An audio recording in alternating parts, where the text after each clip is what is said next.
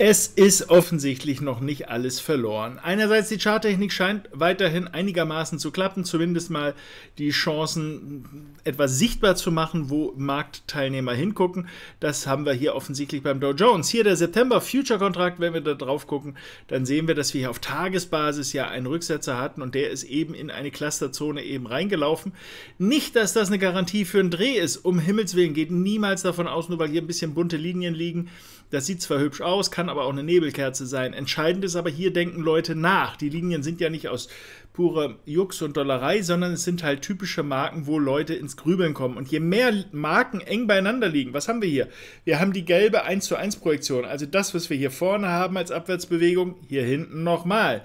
Wir haben die 38er Fibo-Marke. Auch die ist jetzt nicht ehren, aber sie ist eine klassische Marke, wo Leute sagen, hm, es war es ja schon ganz schön viel. Und wir haben die blaue Extension-Marke hier. Das ist einfach die Gegenbewegung hier gemessen. Das heißt, wir haben hier drei Marken eng beieinander. Noch dazu eine schräge Linie, in dem Fall aus dem Trend, die Oberseite markiert. Die Unterseite ist dann ungefähr das hier. Wenn man es ganz genau zeichnet, wäre es sogar noch einen Millimeter höher.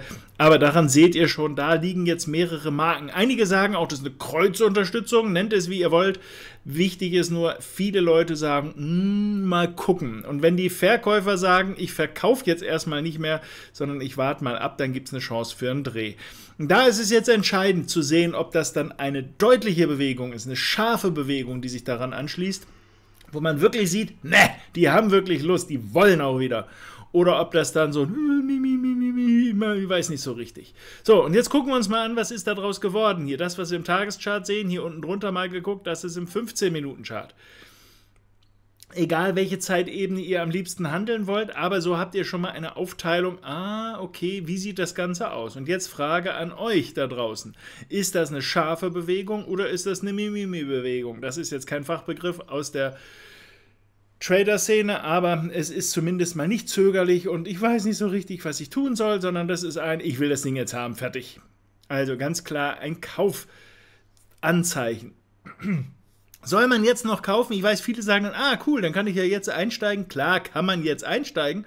Aber ich persönlich ziehe es vor, das ist äh, jedem natürlich selbst überlassen, dann zu sagen, cool, jetzt hat er ja gezeigt, dass aufwärts ganz gut ist. Ich bin also von der Aufwärtsrichtung vorläufig vorläufig wohlgemerkt, überzeugt. Also am Produkt liegt es jetzt nicht, jetzt liegt es für mich noch am Preis. Ich bin doch Händler und als Händler will ich immer einen besseren Preis haben. Ich gehe nie irgendwo hin als Händler und sage, oh, ist gerade teuer wieder geworden, ja super, dann nehme ich. Sondern mein Begehr ist als Händler, ich sage, Oh, das ist ein cooles Ding. Ja, aber Leute, nicht für den Preis, macht mir ein Angebot. Angebote sehen typischerweise an der Börse so aus. Wir wollen ja auch nicht, dass die dann einknicken und sagen, was, du willst einen halben Preis? Ja, zack, komm mir dir entgegen. Nee, das ist doof. Sondern was, du willst so gesehen? Nein, niemals. Es soll ein ewiges Hin und Her sein zwischen Käufer und Verkäufer.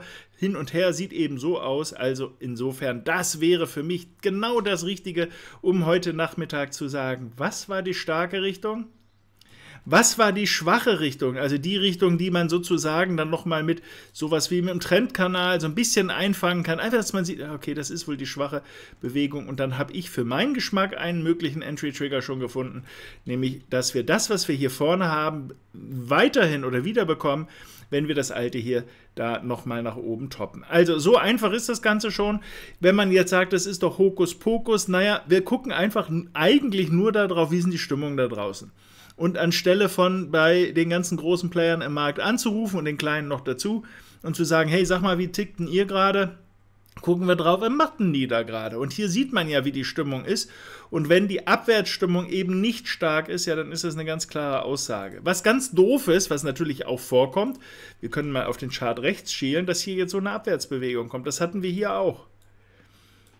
Ja, aber das kann doch sein und danach geht der Kurs trotzdem nach oben. Das ist richtig. Das ist, sagen wir mal, die Schwäche dieses Ansatzes, weil ich nach diesem Rücksetzer erstmal sagen würde, ich kann da nichts tun. Ich würde in dem Fall nicht auf die Idee kommen, hier auf die Long-Seite zu gehen, genauso wie ich hier nicht auf die Idee gekommen bin, hier auf die Long-Seite. Ja, siehst du, hast du verpasst, das ist goldrichtig. Solche Bewegungen verpasse ich, es sei denn, dass man hier dann auf einer kleineren Ebene vielleicht, dann hier sieht man es im 4-Stunden-Chart nochmal so ein bisschen, einen Schub hoch und was Wackeliges runter, dann kann kann ich das natürlich wieder handeln und ihr seht, es ist wieder das gleiche in grün, nein, in blau in diesem Fall. Also, Ihr seht, das Prinzip ist ein relativ einfaches, es ist ja nachvollziehbar, es hat auch nichts mit äh, ähm, Hokuspokus oder sonst irgendwelchen Sachen zu tun, sondern einfach nur, wie ticken die Marktteilnehmer, ticke ich da ein bisschen mit oder klinke ich mich da vorläufig aus, bis ich wieder weiß, was passiert. Also kommt nachher das, dann bin ich erst nochmal wieder raus aus dem Deal und gucke, ob wir höchstens diese Bewegung wieder bekommen und ihr könnt erahnen, dann wäre ich vorläufig auf der Short-Seite erstmal wieder unterwegs. Mehr wäre dann noch machbar.